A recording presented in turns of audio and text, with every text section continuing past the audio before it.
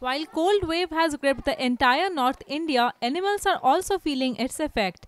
Hence, Lucknow Zoo administration is taking all precautionary steps to keep its animals warm and safe.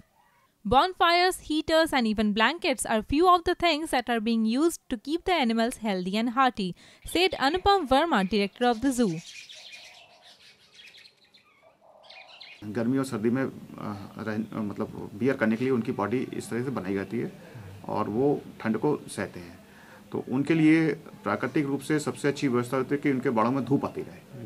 और उनके लिए heater नहीं काम कर सकता, वॉल नहीं काम कर सकता, इस तरह की कोई व्यवस्था नहीं होती है, लेकिन उनके लिए धूप आती रहे। ये सबसे इंपॉर्टेंट इस तरह के होता है। वो हम लोग ने मेजर्स लिए हुए हैं। हवासील वाले बाड़े में जहाँ बतखें काफ़ी सारी रहती हैं, पूरा हमने इस तरह से कर रखा है कि उनमें धूप आती रहे। ये उस तरह की व्यवस्थाएँ कुछ और व्यवस्थाएँ जैसे होती हैं।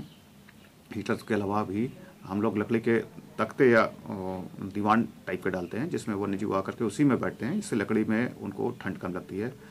इसके अतिरिक्त कई जो हैं, कुछ वन्य जीव हैं, जिसको कि हम लोग कंबल भी देते हैं। चिंपांजी उसको कंबल देते हैं। आपको कभी कभी आपको देखे, कंबल लिए वो बाहर भी आ जाता है। वो भी व्यवस्थाएँ करते हैं।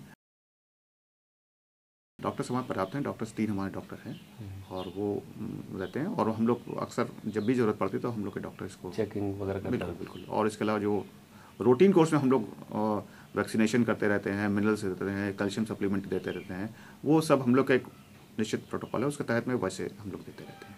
तो कुल मिला जुला के मैं कह सकता हूँ कि यहाँ लखनऊ प्राणी उद्यान में वन्य जीवों को ठंड से बचाने के लिए जो भी उपाय किए जाने चाहिए हर एक वन्यजीव के हिसाब से वो हम लोग ने कर दी है और भी कुछ चीज़ें जो आगे पड़ेंगी वो हम लोग लगातार करते हैं पावर्ड बाय NNIS.